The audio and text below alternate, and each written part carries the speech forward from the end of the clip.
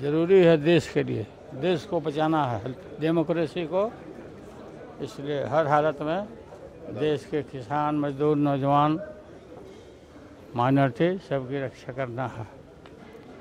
नरेंद्र मोदी के शासन में बिल्कुल समूचा समाप्त हो चुका है। I think this is a good meeting this is a fruitful meeting and it's constructive constructive decision on the agenda is very fruitful let's discuss it today and if the outcome is come outcome today what we discuss after that the outcome may be the good for the people of this country meeting ज़रूरी इसलिए है देश को बचाना लोगों को बचाना political leader के साथ जिस तरह व्यवहार हो रहा है और मैं ये कहता हूँ कि देश की दो तिहाई जनता भारतीय जनता पार्टी के खिलाफ है। टू थर्ड जनता खिलाफ है। तो इस बार भारतीय जनता पार्टी का सफाया होने के लिए सब एक है।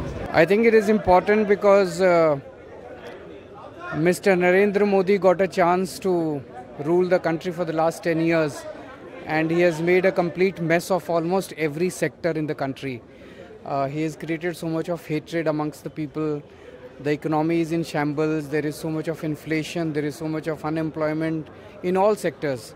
So now I think it's a time that people of this country want to get rid of him.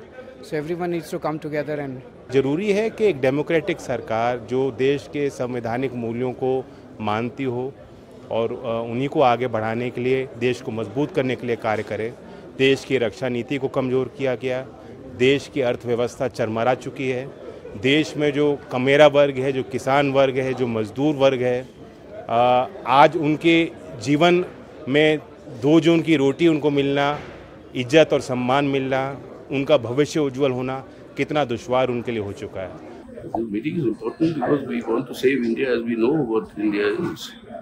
And I think India is under a tremendous assault today, multidimensional.